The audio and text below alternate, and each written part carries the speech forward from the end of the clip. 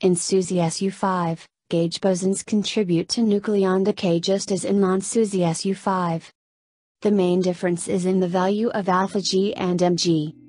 In SUSY guts, the gut scale is of order 3 times 10 to the 16th GeV, as compared to the gut scale in non-SUSY guts, which is of order 10 to the 15th GeV. Hence, the dimension 6 baryon number violating operators are significantly suppressed in SUSY guts. However, in SUSY guts there are additional sources for baryon number violation dimension 5 operator. The dimension 5 operators have a dimension full coupling of order 1 over mg. The dominant decay modes from dimension 5 operators are p to k plus nu bar. This is due to a simple symmetry argument.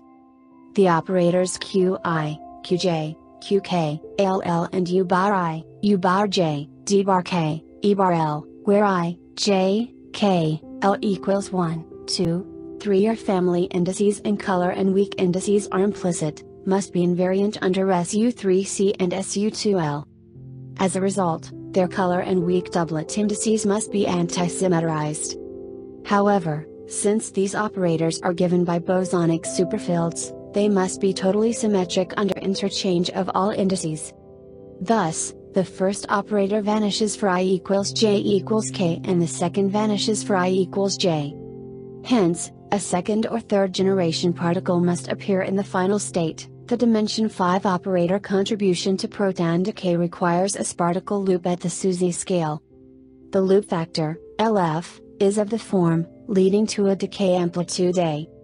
M1 half, M0 are the universal gaugino mass and scalar masses, respectively, defined at the gut scale.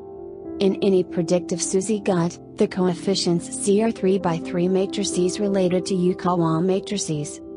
Thus, these tend to suppress the proton decay amplitude. However, this is typically not sufficient to be consistent with the experimental bounds on the proton lifetime.